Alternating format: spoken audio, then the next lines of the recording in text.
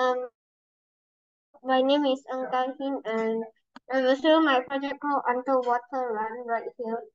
And so I click this button, it makes it bigger.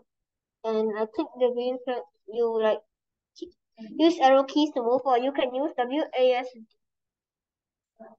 And then you like jump over like it's gonna it's gonna get harder and harder when you go through more spike thingy here.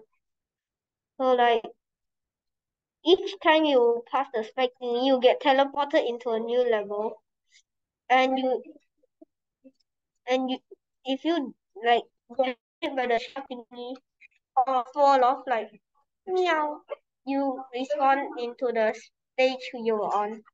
Like you can use space or the W key and the arrow keys to jump.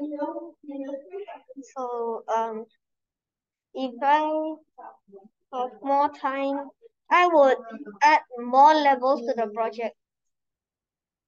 Thank you.